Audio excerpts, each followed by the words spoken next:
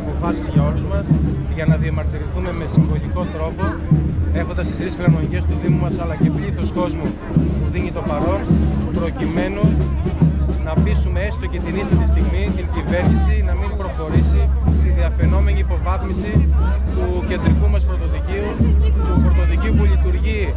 τελευταία 200 σχεδόν χρόνια αδιαλείπτως στην πρωτεύουσα του νομού Ετροκαρνανίας και να πείσουμε την κυβέρνηση ότι το Μεσολόγγι δεν ζητάει να είναι εξαίρεση. Απαιτεί να μην γίνει κατάπτυστη εξαίρεση στο νόμο που η ίδια φέρνει, καθώς είναι η μοναδική πρωτεύουσα και το τονίζω της χώρας που υποβαθμίζεται με αυτό το βάναυσο τρόπο. Σε λίγες ημέρες, την ερχόμενη εβδομάδα, πρόκειται να τιμήσουμε και να ποτίσουμε φόρο τιμής στους ελεύθερους προκειμένους σε εκείνους που έγισαν το αίμα τους, προκειμένου σήμερα να είμαστε εμείς ελεύθεροι.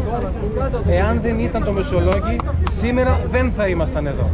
Αυτό ήρθαμε να διατρανώσουμε με κάθε δυνατό τρόπο και να πείσουμε έστω και εκείνους που ακόμη και τώρα αντιδρούν να διορθώσουν όσο είναι καιρός αυτό το ολίσθημα, το ιστορικό αλίστημα αλλά και την βαθιά συμβολική αντί, ε, υποβάθμιση στην ιστορική μας παρακαταθήκη που πάει σε λίγες μέρες να ψηφιστεί.